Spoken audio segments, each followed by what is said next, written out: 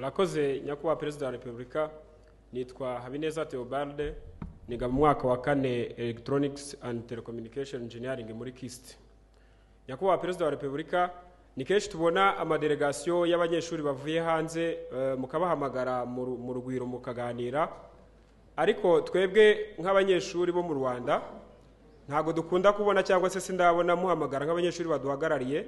Ntabwo mbahamagara barasaba bakaza. Umunsi mwasabye muzaza murakoze nyakubahwa perezida wa repubulika. Hari n'ikindi ki- kifuzo nari mfite? Jye- jye kenshi ntabwo nikururira akazi. Iyo- Eh, iyo iyo iyo iyo umuntu akanzaniye ndagakora. Rimwe na rimwe iyo utanzaniye akazi ndiruhukira nanjye. Nkakwihorera umunsi mwashatse ko tuganira mukabisaba. Nzabakira ubugira inshuro nyinshi. Ariko nimutabisaba. Nzabona ko mutabishaka mbihorere. Bariya baza ba- nibo bahitamo kuza. Banagera na hano bagahitamo no gusaba ko bambona ndetse bakavuga n'impamvu bashaka kumbona. Icyo na cyo tugishyire iruhande cyumvikanye ntabwo nanze kubabona. Usibye ko nahagiye wari igihe wizanye ntabwo mwampamagara. Murakoze nyakubahwa perezida wa repubulika nitwa uwase mavubi patricie niga mu mwaka wa gatatu mu by'ubwubatsi civil engineering. Nkaba mpagarariye n'abanyeshuri ba kisite nka minisita wa genda mu nama duherutse kugirana n'abayobozi bacu ba kisite batubwiye ko kuko mu bibazo bitubangamiye cyane harimo n'ikibazo cy'amacumbi nk'uko babivuze batubwiye ko bari gushakisha ba rwiyemezamirimo baza bakubaka amacumbi y'abanyeshuri ariko hagati aho ngaho kuko babona ko icyo kibazo kibangamiye abakobwa cyane bakaba bakubakisha amacumbi y'abakobwa. Mpagaze hano ngira ngo mbabwire ko batubwiye ko babonye fandi batangira kubaka amacumbi y'abakobwa byihuse kuko arakenewe. Nagira ngo mbasabe ko mwatuvuganira. Ikibazo ariko uvuze ko cyakemutse. Ntabwo kirakemuka kuko nta macumbi dufite. Eh, ndavuga bavuze ko babonye funds. Ntabwo barazibona n'ubu baracyariho barashakisha abatanga izo funds kugira ngo batangire kubaka amacumbi y'abakobwa. Okay. Twagira ngo mubidukundiye n'icyo ngicyo muzagishyire muri gahunda zanyu kuko mudahwema kubyitaho. Tuzabikurikirana rwose. Murakoze. Mhm. amazina yanjye nitwa murinzi john niga mu mwaka wa gatanu civil engineering and environmental technology. Ikibazo cyanjye kikaba kigendanye n'ibihugu byo hanze byagize uruhare muri jenoside yakorewe abatutsi muri mirongo icyenda na kane. Nk'uko tujya tubona mu gihugu cyacu abantu bako- bakoze jenoside bakirega ibyaha byabo bagasaba imbabazi. Hariho uburyo bubakira abacitse ku icumu abacitse ku icumu mu buryo bwa tije ndetse n'imfubyi zagiye zisigara. Nkaba mfite ikibazo cyerekeranye n'aba bantu n'ibihugu byo hanze byagize uruhare muri jenoside. Ese byo hari uruhare rwabyo bya- byaba bigaragaza mu kongera kugaruka kubaka aho byashenye. Niba bita- bitagaruka kubaka se twebwe waduhereza icyizere cy'i nk'urubyiruko yuko ibihugu ari inshuti zacu cyangwa se tiri baracyari abanzi bacu nuko bacecetse gusa bitewe n'ubuyobozi buriho. Waretse waretse tugashyira amaso ku byo twakora kwifasha tukareka ibyabo bo hanze. Abo bo hanze Nya- ya- nyakubahwa perezida wa repubulika ikigendanye n'icyo ngicyo wenda ndabyumvishije. Ah, ah, ubwo cyarangiye. Abanyeshuri bigaga bahabwa buruse itis- itishyuzwa kuko bagize amanota menshi cyangwa distinction kuzamura ku- mu- maseansi.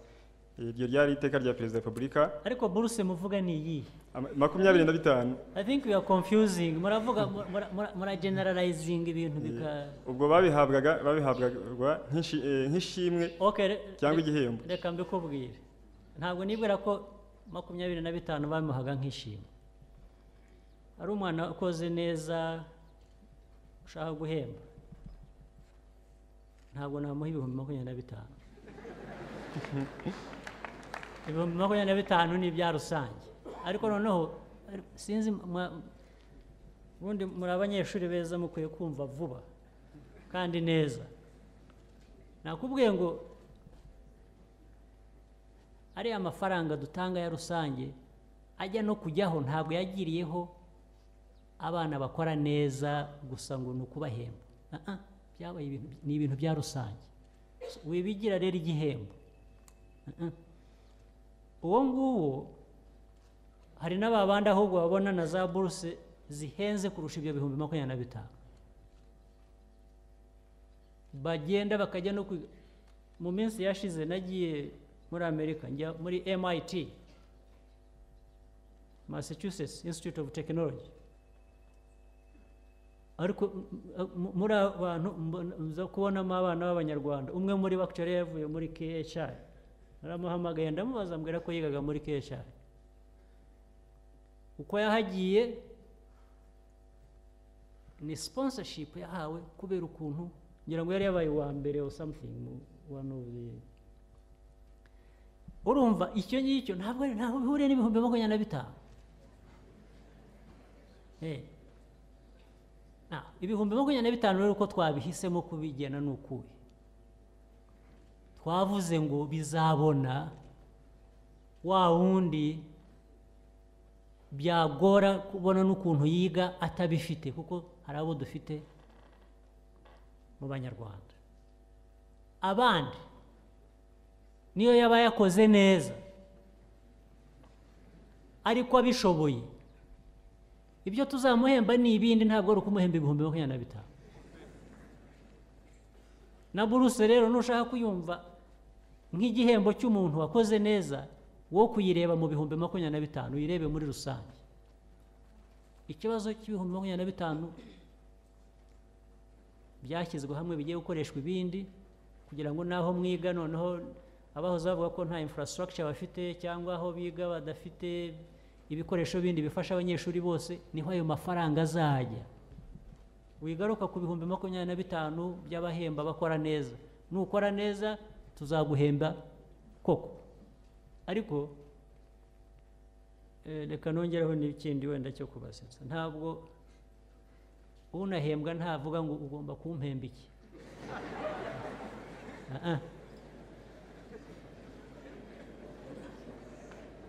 guhemba ni uguhemba you don't decide a gift. Wowe ugihabwa ntuvuga ngo you must give me this gift. Ah, tegereza igihembo ukagihabwa. So abo bahembwa bazahembwa uko byagenwe. Icy'ibihumbi makumyabiri na bitanu mushatse mwaba mukibagiwe. Bigakoreshwa uko twabigennye kuko birasobanutse tubisubiyemo kenshi turabisobanuye tuzakomeza wenda ariko mudufashije mwabyumva tugatera intambwe tukajya ku bindi.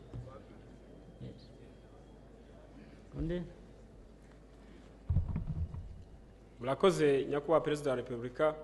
Nitwa habineza theobald niga mu mwaka wa kane electronics and telecommunication engineering muri kist. Nyakubahwa perezida wa repubulika ni kenshi tubona amadelegasiyo y'abanyeshuri bavuye hanze eh, mukabahamagara mu ru- mu rugwiro mukaganira.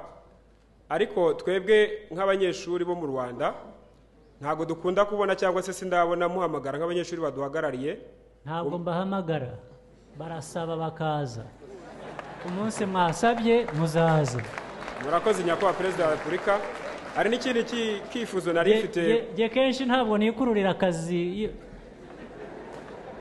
iyo Eh, iyo iyo iyo umuntu akanzaniye ndagakora rimwe na rimwe iyo utanzaniye akazi ndiruhukira nanjye. Nkakwihorera umunsi mwashatse ko tuganira mukabisaba. Nzabakira ubugira inshuro nyinshi. Ariko nimutabisaba. Nzabona ko mutabishaka mbihorere. Bariya baza ba- nibo bahitamo kuza. Banagera na hano bagahitamo no gusaba ko bambona ndetse bakavuga n'impamvu bashaka kumbona. Icyo na cyo tugishyire iruhande cyumvikanye ntabwo nanze kubabona. Usibye ko nahagiye wari wizanye ntabwo mwampamagara. Hari ikindi cyifuzo nari mfite nyakubahwa perezida wa repubulika ku bijyanye no kwihangamo ubushobozi ndetse twe nk'abanyeshuri twakoze amasosiyasiyo ariko nyakubahwa perezida wa repubulika ikibazo tugira ku isoko ni kimwe. Iyo tugezeyo baratubwira ngo you are full time you can't get the time to do to perform my task. Ngaki baravuga ngo iyo tugeze ku isoko tujyanye nk'iyo asosiyasiyo y'abanyeshuri Eh. baratubwira ngo mwebwe muraba full time ntabwo mushobora kubona umwanya wo kuza gukora ibyo ngibyo. Ababibabwira ni bande? Aho tugiye gukompeta nk'iyo tujyanye request application. Ah, bakareba bagahita babona ko you are a full time student. Niyo mpamvu niyo mpamvu navuze ngo ba bantu dufatanyije. Niyo mpamvu navuze gufatanya. Gavumenti bizinesi n'abanyeshuri. Yes. Institutions z'uburezi. Twafatanya nta mpamvu kuko of course ugiye usaba akazi gasanzwe kari permanent gafite contract cyangwa gafite ibindi ntabwo bazakaguha ko baravuga ngo no ah, wowe urakiga ntabwo urarangiza. Ariko hari akazi kari temporary. Yes. Ugenda kakorwa icyumweru kimwe kakorwa umunsi umwe kakorwa kenshi. Ibyumweru ugenda ugaruka aho uboneye umwanya birashoboka. Reka dukore rero kugira ngo bishoboke. Niba ubu ngubu practice ifite ikibazo. Ni cyo navugiraga ngo inzego zibishinzwe n'abantu babishinzwe dufatanye turebe ko byashoboka kuko birashoboka. Tubigire umuco. Eh. Aha rero hari igitekerezo nashaka gutangaho nyakubahwa perezida wa repubulika. Hari nka opportunities zimwe na zimwe nka like nka data entry to take from hard copy to soft copy nka dekorasiyo nk'izi ngizi. Twasabaga ko twebwe nk'abanyeshuri bafite izo association. Kuko hari imirimo ishobora gukorwaho kugira ngo ihere mu gitondo saa moya kugera saa kumi n'imwe. Birashoboka rwose. Bishobora guhera noneho saa cyenda bikaba byageza na saa sita. Hahandi abanyeshuri twe tuboneka. Tukaba twabikora.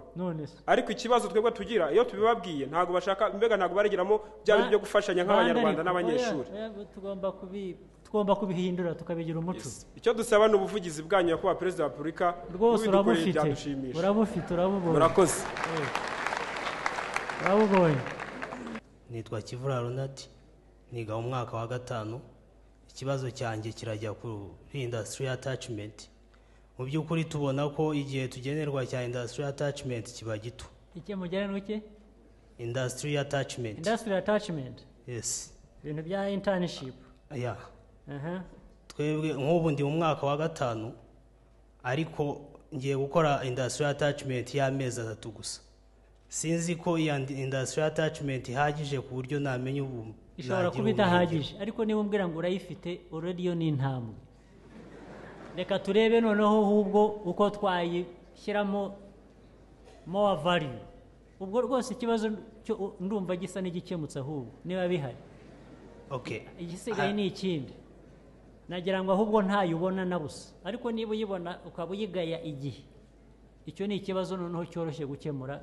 Ni ukureba ikibazo icyo ari cyo n'igisubizo kijyana n'igihe icyo ari cyo murakoze nyakubahwa perezida wa repubulika. Eh, ariko hari akandi gatoya kifuzo nari mfite.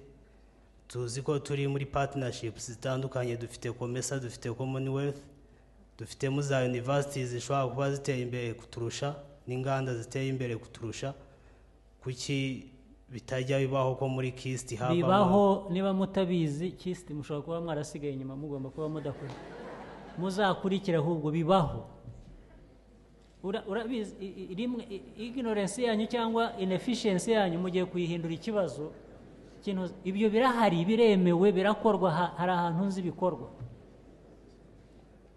Twebwe rero turasa nk'aho twasigaye nyakubahwa perezida wa repubulika. ni bya bindi rero niba wakurikiye speech yanjye neza. Nababwiye ko hari tasks mufite gukora kugira ngo bitari gutegereza undi muntu uzakuzanira ikintu gusa akakiguha go out and look for these things.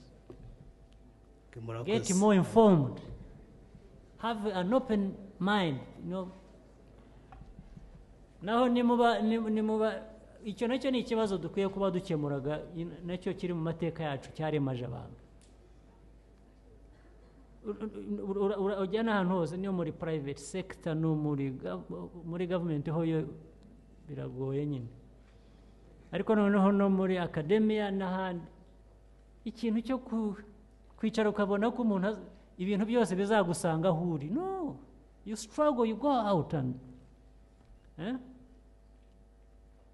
mugire hmm? must have must be a vibrant students community or business community or all of us. Even no muri government aho bureaucracy iri very costly naho turagerageza kureba ukuntu twayigabanya Eh. iyo miterere cyangwa ibitekerezo byacu nitugerageza kubihindura gato tuka aba bantu ba, bashaka icyo tugomba kugeraho niyo attitude nshya nibura twakorana kandi yadufasha. Yes? Ntatinze mu magambo eh, munyemerere ngaruke ku buzima n'imibereho y'abarimu. Ah, kandi ubwo bigiye kujya muri speech. Ntabwo mvuga speech ni ikibazo aha nyakubahwa. jya ku kibazo. Mu minsi ishize hano mu kigo cya kisiti twabonye abarimu benshi bagenda bikaba byaratudisitabinze cyane mu bijyanye n'imyigishirize cyane cyane ko no gusimbura icyo cyuho bihenze. Impamvu zabiteye nta zindi mu zo twagerageje kumenya. Icya mbere ni ikijyanye n'imishahara ngira ngo umwana agikomojeho. Ariko ikindi kijyanye cyane cyane n'ubusumbane mu mishahara yaba ari muri government institution bituma ba bantu bakora bigendera igihe babonye yuko ubuzima barimo budakwiye. Twabaha nk'urugero eh, twabaha nk'urugero abagenda bamwe ko ari n'abasumbye abandi imishahara se ahubwo? na byo birashoboka nyakubahwa Eh, ubwo rero bigomba.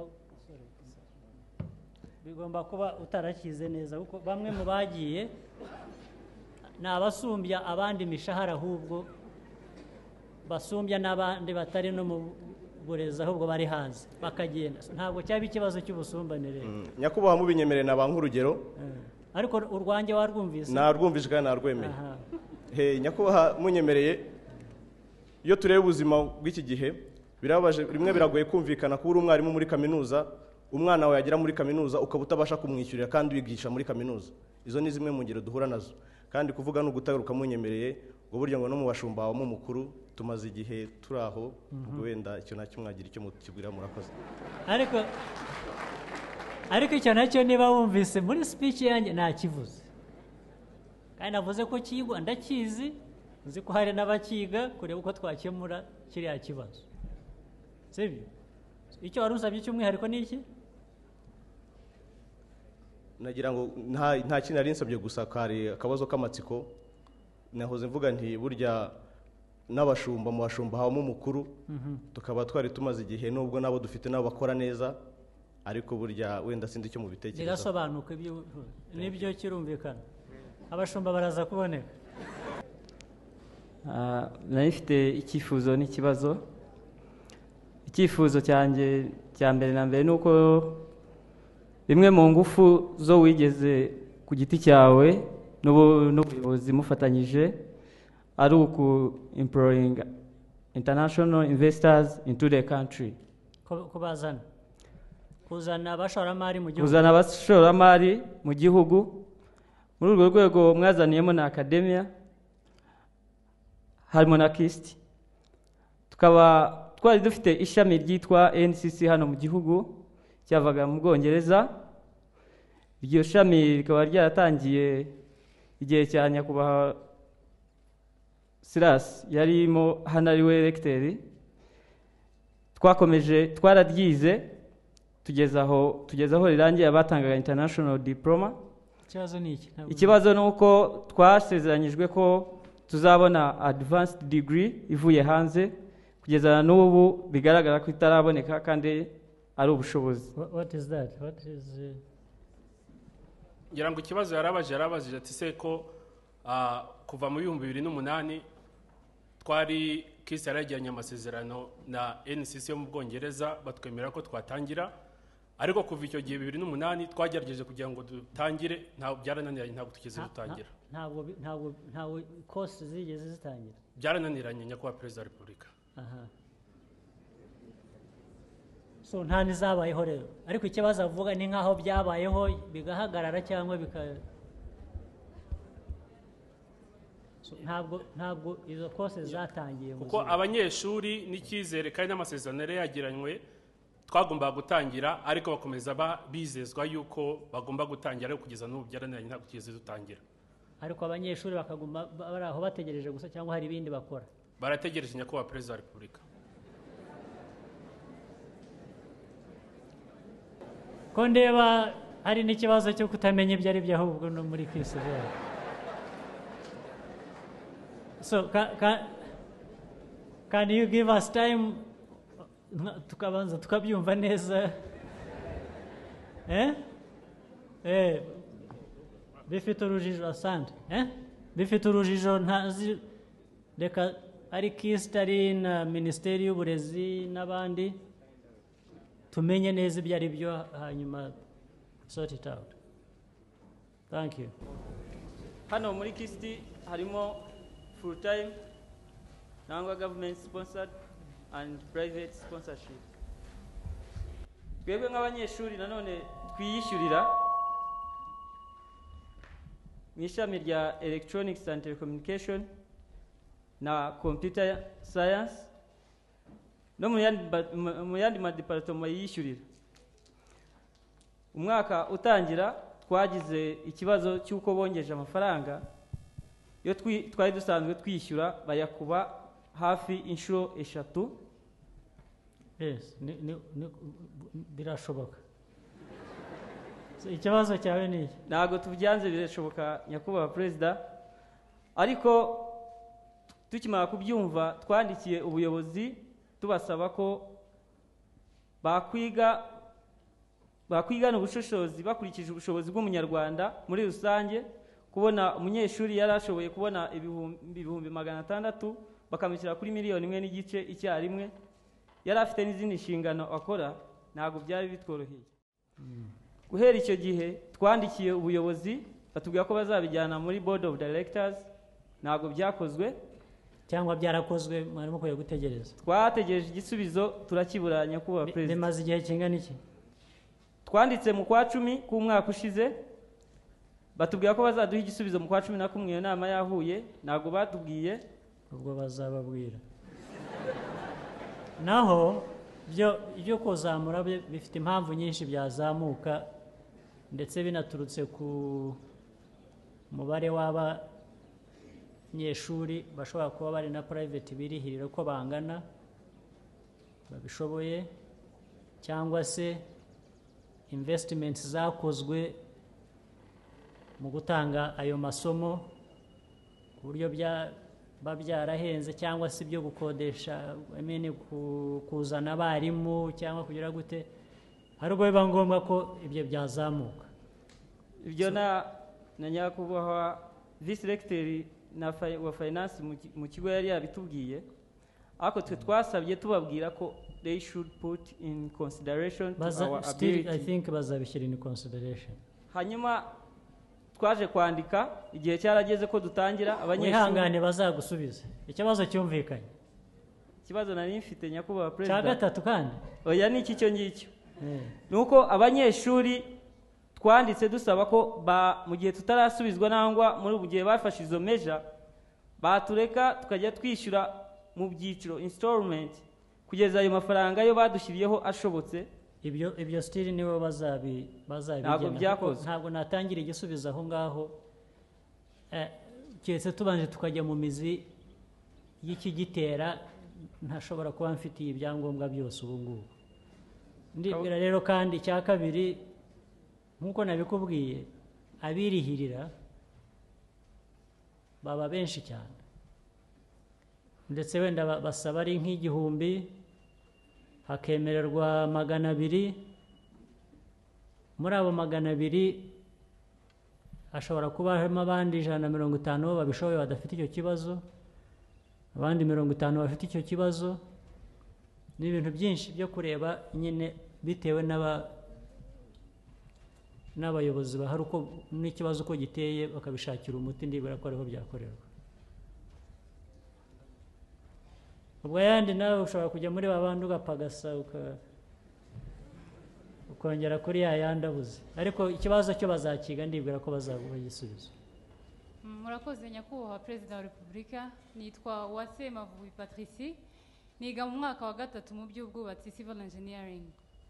Nkaba mpagarariye n'abanyeshuri ba kisite nka minisita wa genda mu nama duherutse kugirana n'abayobozi bacu ba kisita batubwiye ko kuko mu bibazo bitubangamiye cyane harimo n'ikibazo cy'amacumbi nk'uko babivuze batubwiye ko bari gushakisha ba rwiyemezamirimo baza bakubaka amacumbi y'abanyeshuri ariko hagati aho ngaho kuko babona ko icyo kibazo kibangamiye abakobwa cyane bakaba bakubakisha amacumbi ah, y'abakobwa. Mpagaze hano ngira ngo mbabwire ko ah, batubwiye ko babonye fandi batangira kubaka amacumbi y'abakobwa byihuse kuko arakenewe. Nagira ngo mbasabe ko mwatuvuganira. Ikibazo ariko uvuze ko cyakemutse? Ntabwo kirakemuka kuko nta macumbi dufite. Eh, ndavuga bavuze ko babonye funds. Ntabwo barazibona n'ubu baracyariho barashakisha abatanga izo funds kugira ngo batangire kubaka amacumbi y'abakobwa. Okay. Twagira ngo mubidukundiye n'icyo ngicyo muzagishyire muri gahunda zanyu kuko mudahwema kubyitaho tuzabikurikirana rwose murakoze Mhm.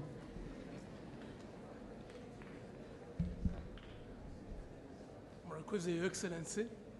But uh, let me speak English maybe Sure. to address You're some free. other people. So I'm called John Baptist Rusine. I'm director of KIST Language Center, and I happen also to coordinate the Forum of uh, Deans and Directors of Language in uh, our universities. Mhm. And I'm very much concerned by what has been the reaction to your policy of struggling for competitiveness within and without Rwanda.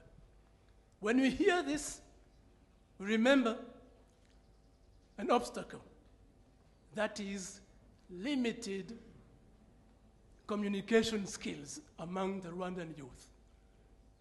It becomes really not appalling to listen or to hear a, ba- a bachelor's holder, an engineer, even a master's holder, unable to express himself in English or in French and even in Kinyarwanda. Sure. And It just resorting, The evidence was here, I could see. thank you. Uh-huh, Go ahead, yes. and just resorting to what some people ridicule as Kinya Franglais.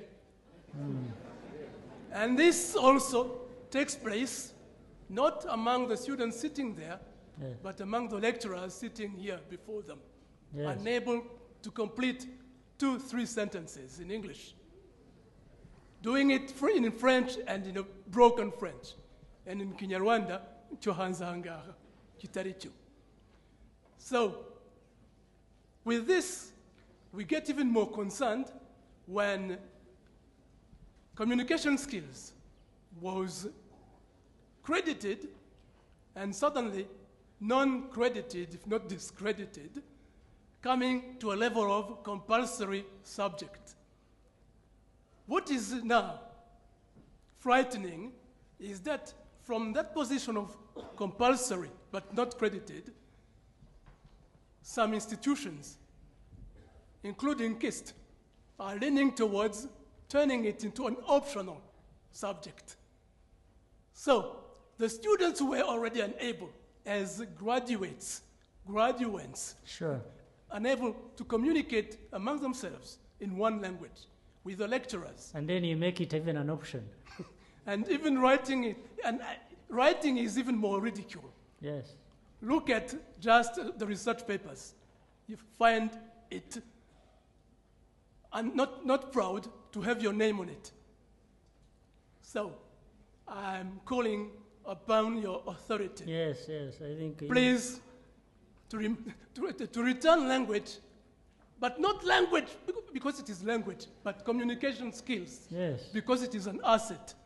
And in an institute like KIST, when we say it is science and technology, forgetting that MIT in Massachusetts eh, or in UK, those institutes of science and technology have communication skills as a must. Now Sure, we sure, come here and we go beyond what we have suggested, saying it is not an end in itself, but it is, a, it is an indispensable tool an asset for competitiveness. Hmm. I thank you. Th- thank you for bringing up this issue. Yes, thank you for bringing up this issue. It's a, it's a serious matter, which people, though, treat very lightly for reasons I don't understand. First of all, uh, uh, people have been creating excuses. On the other hand, the excuse is no, they are taking that to English when we are supposed to be French. How French is anyone here? It, it is falsehood, first of all, but they use it as a pretext. Even, and as you rightly said, even that complaint that which we first faced and which still lingers on about the shift from English, uh, from French to English, has been used as an excuse. And the evidence is also that their French is actually even worse than their English. Even those who claimed to be originally French speakers. But that is absolutely doesn't make sense. Now, second, right again, you have said, even when you look at papers written by these uh, university students, uh, that you wouldn't want to put your name on it. You would be, feel ashamed, which is also true. But it is also encouraged by our education system, where even somebody actually has, who has written things you can't even understand, in the end is actually given, is passed, is given high marks, and they don't, first of all, you even wonder how they understood what this person wrote. But they go ahead and give them a distinction. So we even encourage mediocrity in the system. We accept mediocrity and even encourage it. That's another thing. Uh, third, the point you have raised about engineers and others who may think, well, they can get away with it. They don't have to learn languages. That's not true because, in the end, when we have embraced this idea, because I hear people talk about, you know, we, we have promoted ICT, we have promoted all kinds of things, we want to be a hub, we want to do what? How you can be a hub without communicating, I don't understand. How you can do business process outsourcing without benefiting from languages. I don't understand. In fact, let me give you a specific example. Uh, not so long ago, several times, I have been inviting some of these big companies to come and establish here IT or other technology companies. And they have agreed to come and they like Rwanda and they like the policies and they have known what we are doing and what we want to do. So they all arrive almost at the same time, many of them. They have come back to me. They have said, there is a very serious impediment. About mathematics, your people are among the best. Others, science subjects, they are so good. But one very important thing that is putting us off, and you cannot make the necessary investments we needed to make, is the issue of communication. we don't find people with the language skills you're talking about. They, they, they, here they find it at the lowest minimum. I think some of them even attempted to speak to them in Kinyarwanda or in the other language you said, which has another name. Kinyafrangle. Uh-huh. And they simply don't understand. And you say, well, you see, if we want to establish ourselves here, and through that process, uh, somebody in America will be talking to somebody, and this person must be given an impression that he's talking to somebody, actually an American. Then you must have the language skill to express yourself in that manner that they will take you as such, that will bring them bus- the- businesses here. But it's a problem that can be solved. It's not, a, it's not that Rwandans can't learn languages. No, because we've seen them. I have seen uh, some of our young people not so long ago who left here without even knowing a word in English. They've gone to study in the United States. I met some of them in uh, Arkansas, in uh, Oklahoma, in uh, different uh, universities in uh, Massachusetts, in, uh, California. You know, I had to ask them whether, and in a very short time, I, I, I first got confused. I didn't know whether I was talking to Americans or Rwandese because of the way now they were speaking their English in a very short time. That means it can be done. But we have got to create the environment for that to happen. And we have got to have the attitude to actually be able to achieve that. We have to have programs in education institutions, and maybe we need to look at to revisit this whole issue you are talking about, where they make it compulsory, and then you said they do what? It becomes optional or elective. In the end, it becomes optional. Maybe we need to approach it differently. Uh, because it is making us lose out on many things. Many, many things, including the jobs we are looking for. The jobs people said they were looking for. So it, it, it's, it's a timely, it's, it's a good question, and we need to look at it not only in the policy area, policy area is not enough.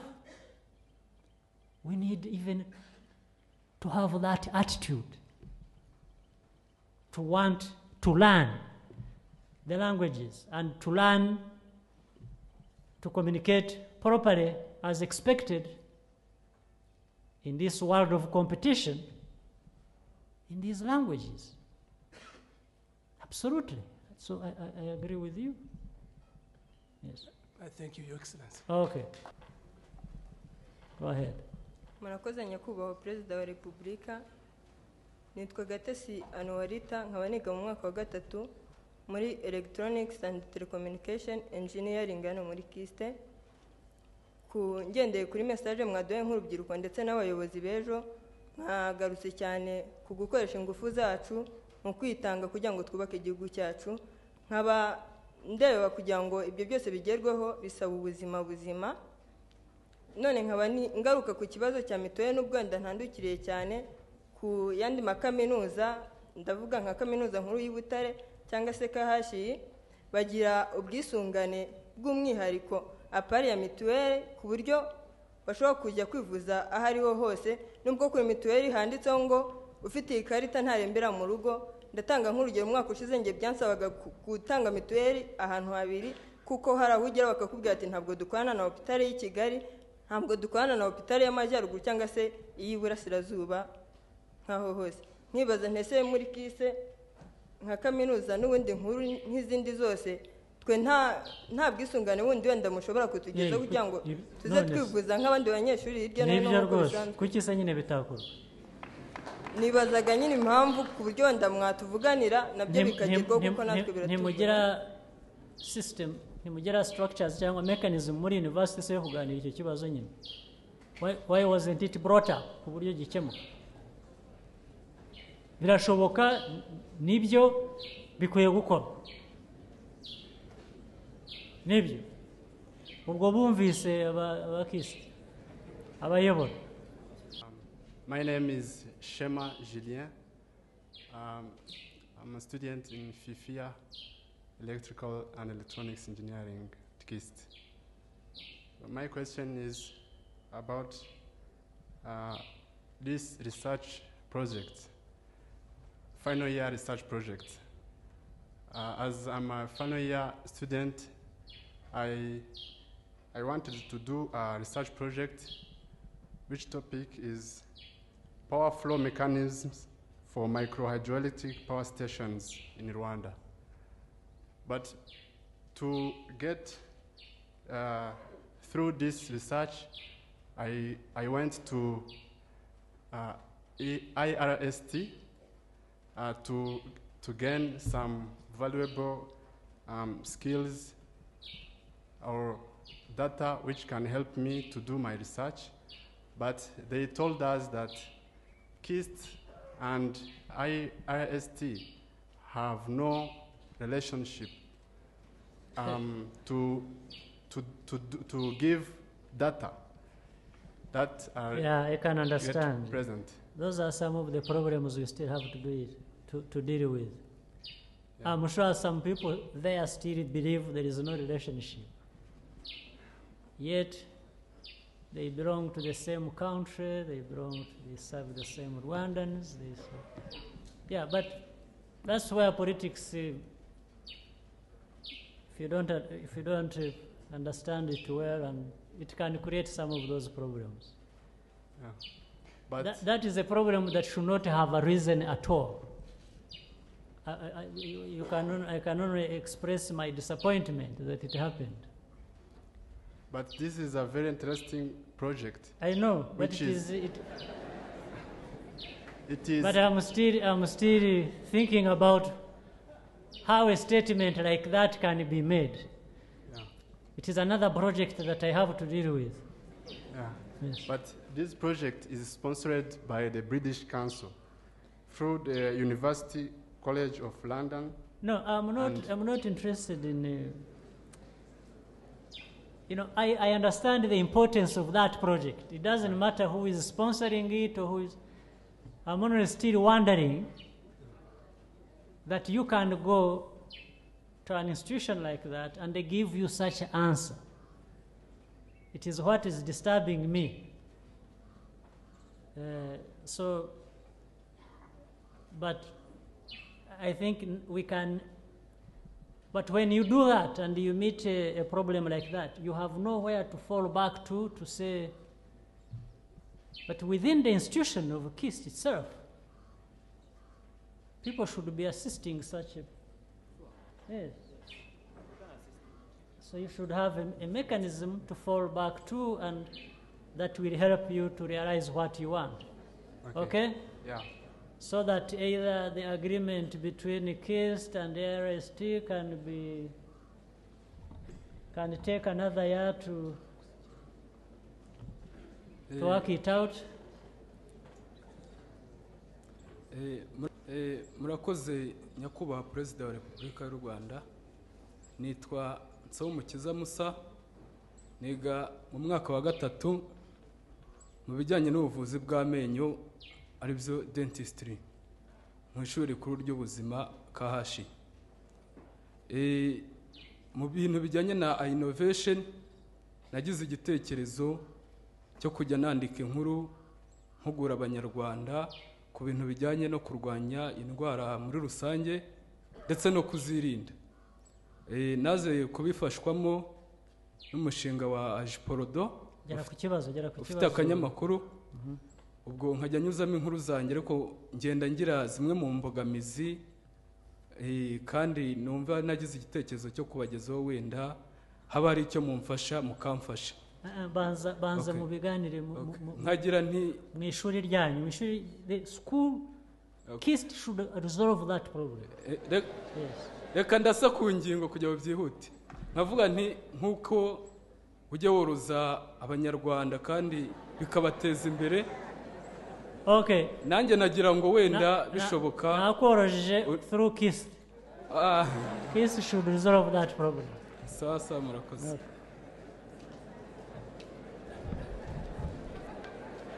murakoze nyakubahwa perezida wa repubulika. Amazina yanjye nitwa murinzi john niga mu mwaka wa gatanu civil engineering and environmental technology. Ikibazo cyanjye kikaba kigendanye n'ibihugu byo hanze byagize uruhare muri jenoside yakorewe abatutsi muri mirongo icyenda na kane. Nk'uko tujya tubona mu gihugu cyacu abantu bako- bakoze jenoside bakirega ibyaha byabo bagasaba imbabazi. Hariho uburyo bubakira abacitse ku icumu abacitse ku icumu mu buryo bwa tije ndetse n'imfubyi zagiye zisigara. Nkaba mfite ikibazo cyerekeranye n'aba bantu n'ibihugu byo hanze byagize uruhare muri jenoside. Ese byo hari uruhare rwabyo bya- byaba bigaragaza mu kongera kugaruka kubaka aho byashenye? Niba bita- bitagaruka kubaka se twebwe waduhereza icyizere cy'urubyiruko yuko ibihugu ari inshuti zacu cyangwa se tiri baracyari abanzi bacu nuko bacecetse gusa bitewe n'ubuyobozi buriho. Waretse tugashyira amaso ku byo twakora kwifasha tukareka ibyabo bo hanze. Abo bo hanze Ya- nyakubahwa perezida wa repubulika ikigendanye n'icyo ngicyo wenda ndabyumvishije. Ubwo cyarangiye. Ikigendanye n'ikindi ki- nta kindi reka dusubize icyo.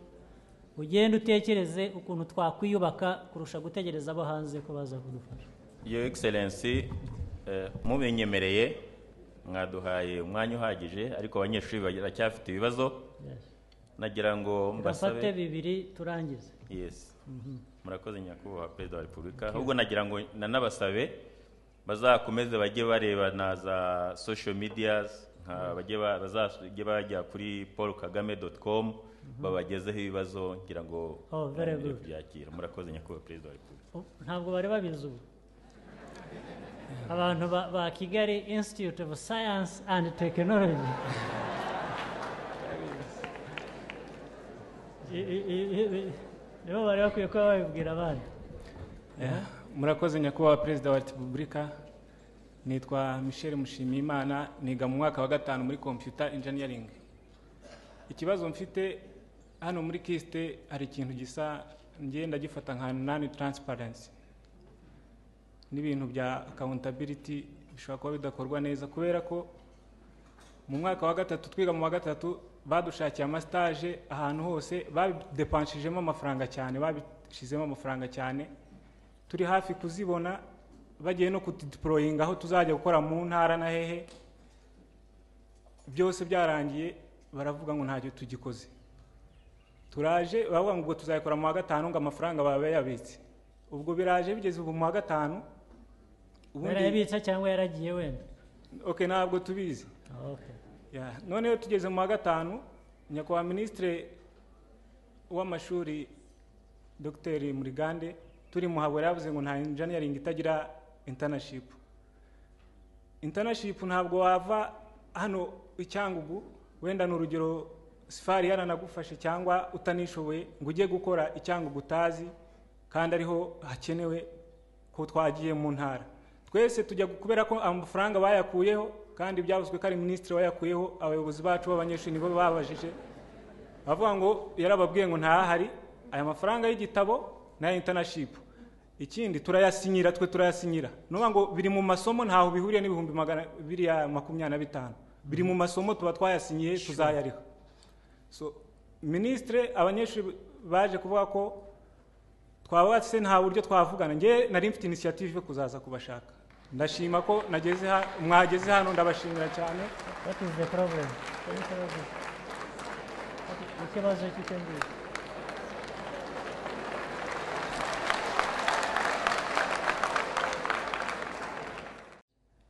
Um, murakoze nyakubahwa perezida. Ikibazo abaza ah, abanyeshuri biga engineering mu mafaranga uh, government ariya ya tuition. Government iha institution. Ubundi institutions nizo zibarihira uh, internship. Ntabwo aba ari muri ariya tubaha ibihumbi magana abiri na mirongo itanu. Ayo rero uh, umwaka ushize kisite yagize ibibazo bya finance. Regiti wari uriho- afata decision yo kutayabarihira. Ariko nk'uko nk'uko yabivuze naje hano babimbwiye eh, mvuga ko nta muntu waba yiga engineering ngo bamugraduatinge atakoze iyo internship. Eh, turicara dushaka ayo mafaranga tubonye ko kisi idashobora kuyabona tuyashaka muri ministry ya we dushyira aside some programs kuko we needed to graduate those uh, student. Ariko ubundi muri planning ya, ya kist bagomba kuba bashyizemo uburyo abanyeshuri babo bagira engineering bagira iyo uh, internship. Ku byerekeranye n'amafaranga uh, abanyeshuri bajyaga bahabwa iyo bari mu mwaka wa nyuma yo kwandika memoire ayo yo yavanyweho kimwe nk'ariya ya uh, living allowance azajya ahabwa umuntu bigaragara ko atabishoboye. Kuko n'ubundi bayatangaga kimwe nk'uko batanga ariya ya living allowance nuko yo bayatangaga mu mwaka wa nyuma igihe bandika memoire ayo rero yo twarabasobanuriye ko ayo ngayo azahabwa uwo bizaba bigaragara ko adashobora kuyibonera n'ubundi. Kuko the approach niyo kuvuga ngo ubishoboye wese nafata iyo responsibility yo kwirihira. Eh, jye nanababwiye ko progressively na tuition izagenda ijya kuri bo hanyuma government izasigare itanga amafaranga iyaha direct institution kugira ngo i-developing infrastructures libraries laboratories kugira ngo habeho a good learning environment hanyuma abanyeshuri bajye baza kugura kugura learning It's clear then. Perfect. I agree with that. Of course, ikibazo aho numva cyabaye ni rector gusa gufata decision ngo avanyeho ko abantu bazajya bakora internship kandi biri part of ni nko kuvuga ngo yavanyeho amasomo amwe unilateral ara- arayagira icyo ni ikindi kibazo same time chairman eh, wa mu- mubigenza mute mukemura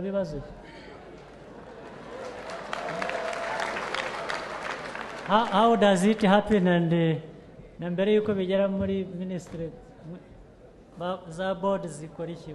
Shaka Your Excellency murakoze. Ibibazo bya finance bya bya constitutinze some stress just last year. Ku buryo ayo mafaranga ubundi ajya muri transport ku no gupuresinga abanyeshuri just uh, kubafasha to move sometimes to stay. Ibyo byose rero bafesinze some sort of fall no no no no. Ndabaza a specific problem. Hmm. ikibazo cya internship. Mwahisemo ko abari mu faculty engineering batazajya bakora internship mu- murabiscraping that was never decided. They do it ahubwo ubwo ni ukuvuga ngo ni sapoti itaboneka mu buryo yatangwaga. Otherwise i think uh, vice rector academic nawe arabizi ntabwo wari wirebaga ntabwo byigeze bihagarikwa. ariko the minister confirmed it. Usibye ko ni support. Badashobora batabona. No no no no. Icyo icyo minister Was- I, want to it clear nagaruka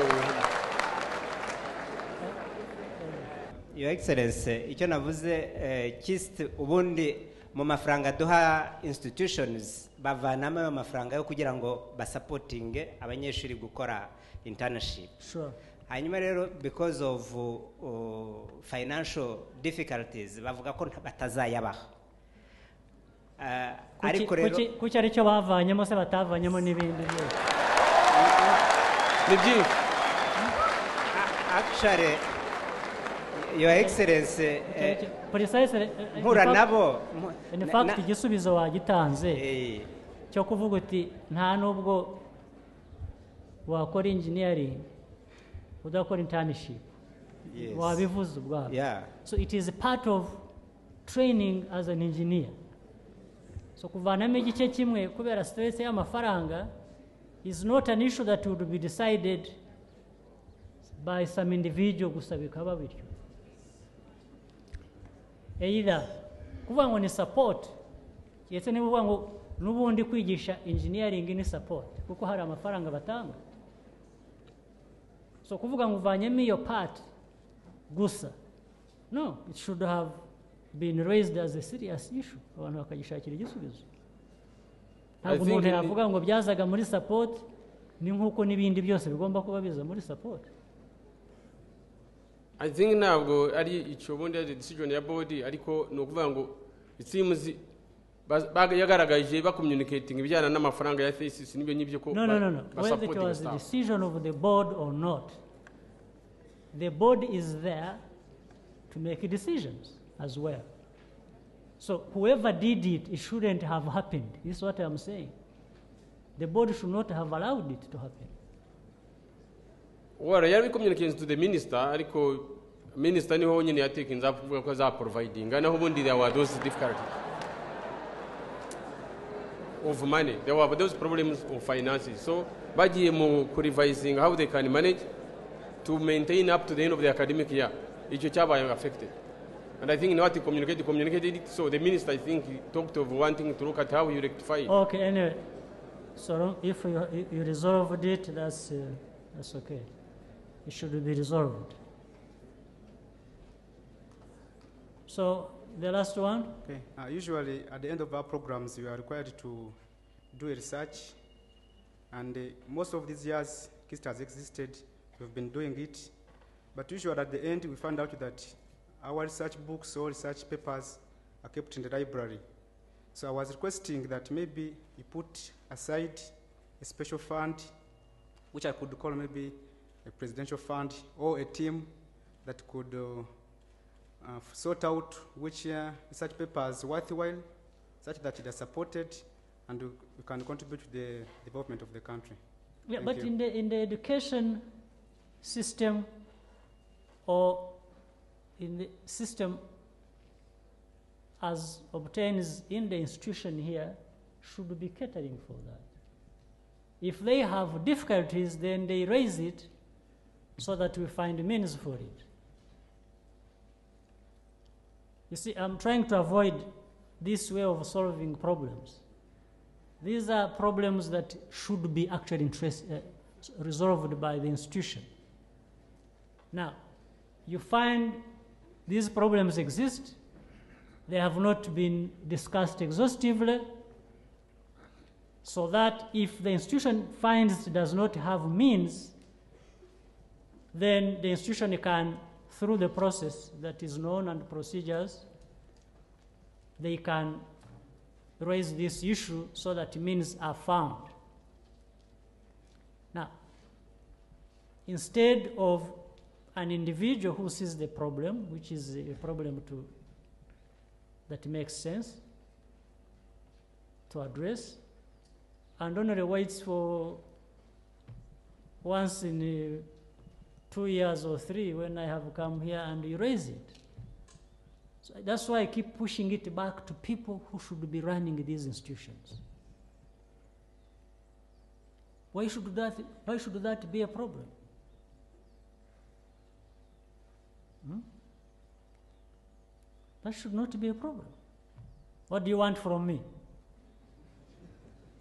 Your, your support, Your Excellency. Which support? Financial, uh, instructions? Instructions, Your, Your Excellency. That what? That a team is put aside to identify which papers are worthwhile and they can be supported. Yeah, but so instructions are passed. yeah? The institution should do that. Yes, it's in the interest of the institutions to do that. They don't need a team. I- I don't need to, to appoint a team. Within the institution, mechanism can be found to achieve that. It is easy, it is right and it must be done. All right? All right. Thank you very much.